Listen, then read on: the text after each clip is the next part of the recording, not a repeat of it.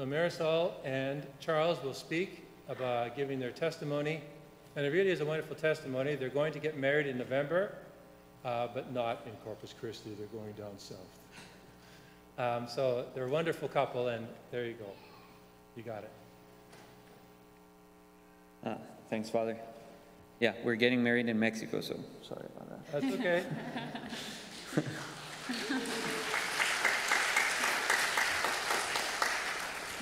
hello.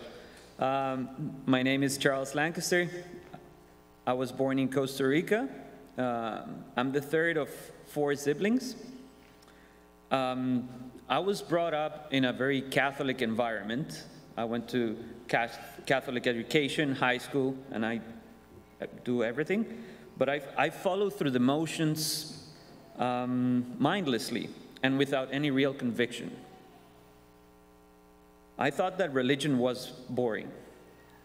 And I can summarize my spiritual life in a very simple phrase don't be a jerk to others and just be a nice guy. Uh, but it was a very empty and shallow life. Sometimes I felt unloved, and I felt that I was causing more damage to others uh, just by my life choices. After a decade of, uh, of an aimless and careless life, I decided to find a new way um, and decided to move to Canada to do a master's degree. Some years later, here in Canada, um, I went to a dinner party uh, with some friends from the master's program uh, and a friend from Mexico, Bernardo. He showed up with this tall, gorgeous, very good looking black haired beauty on his arm, and I just felt a pang of jealousy. I was, ah, uh, when he came to say hello, when I was sitting, uh, I gradually acknowledged his existence. Hey, Bernardo, how are you? And, and he said, yeah, hey, Charles, let me introduce you to my sister. I was like, what? Wait a minute, your sister? Well, nice to meet you, Marisol. Hello, my name is Marisol Ruz Hernandez. I was born in Mexico and I'm the third of five kids. I've been raised in a Catholic and devoted family.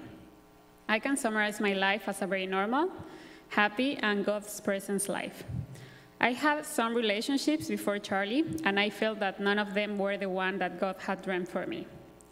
As the years passed, my hope of meeting the man that God dreamed for me started to diminish. On February last year, the ninth day of a novena that I was praying to St. Joseph, I had a major faith crisis in my life. I didn't understand what was going on. My brother Bernardo, who was living here, invited me to spend a summer with him, and this was the trip that I really needed.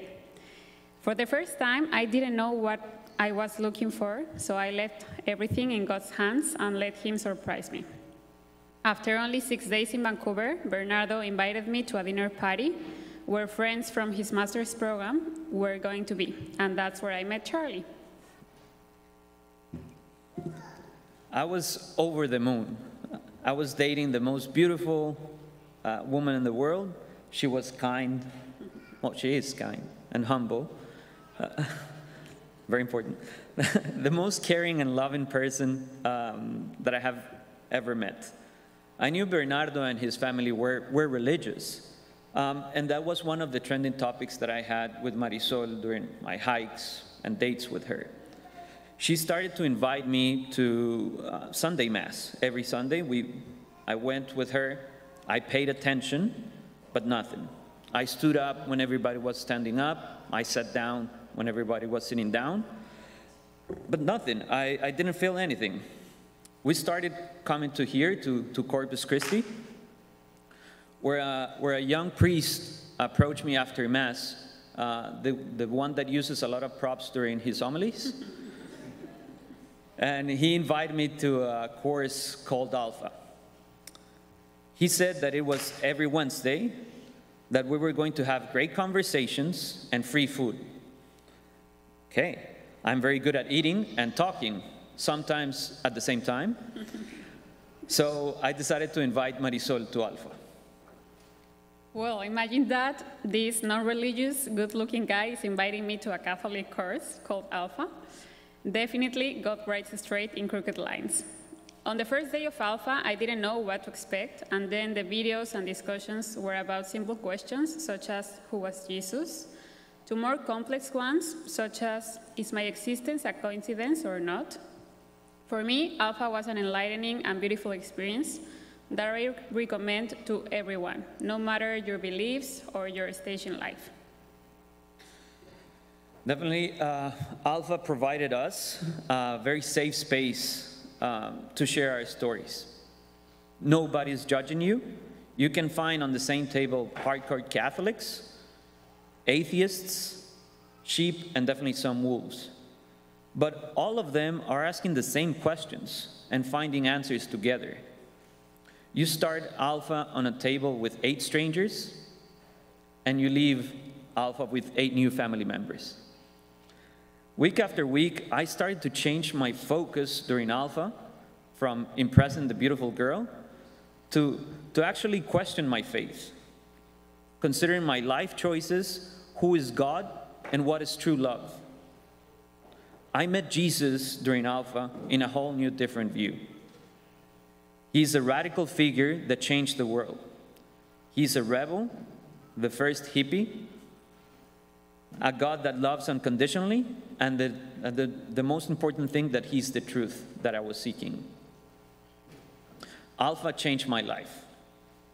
It started uh, like a fire inside me that opened a new dimension of love. It literally brought me into the light, and now walking hand in hand with my future wife to be, setting our eyes on God. Definitely, it was the igniter that I needed to start the process of becoming the man that God dreamt that I was ought to be. And as Father Hamilton said, we're getting married on November the 4th, and we will keep walking this beautiful path together, wrapped in God's love and enjoying this journey that, we, that He dreamt for us. Thank you very much.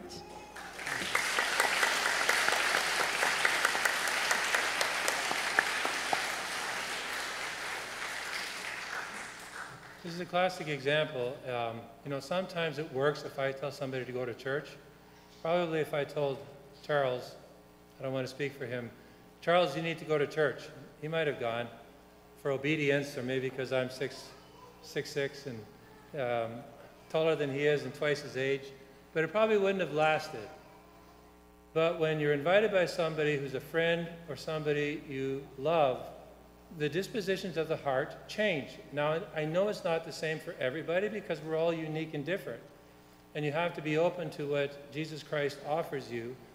But it's clearly um, made easier when you are invited by a friend. There's, I'll never encounter people you can encounter.